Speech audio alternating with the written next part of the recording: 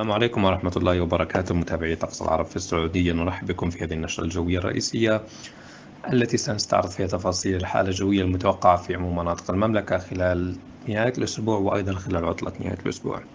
المحاور الرئيسية التي سنستعرضها في هذه النشرة هي زخات أمطار على جنوب غرب المملكة وهي مستمرة بشكل يومي. أيضا طقس صيفي اعتيادي في عموم المناطق وحرارات حول معدلات يعني مثل هذا الوقت من العام. نبدأ نشرتنا كالعادة بصور أقمار اصطناعية الملتقطة خلال ساعات صباح اليوم وتوضح خلو عموم منطقة الجزيرة العربية وعموم مناطق المملكة من الغيوم باستثناء بعض الغيوم العالية والمتوسطة التي انتشرت على سواحل السواحل المطلة على بحر العرب وأيضا على أقصى جنوب المملكة. هي عبارة عن غيوم عالية بدون فعالية. ننتقل الآن إلى خرائط الأمطار المتوقعة من يوم الأربعاء إلى يوم السبت.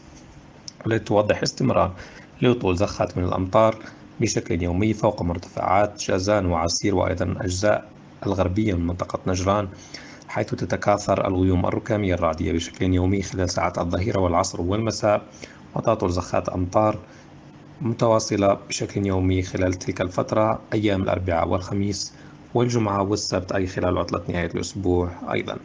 أما بالنسبة لباقي المناطق تستمر الأجواء مستقرة ولا توجد أي فرصة لهطول زخات الأمطار.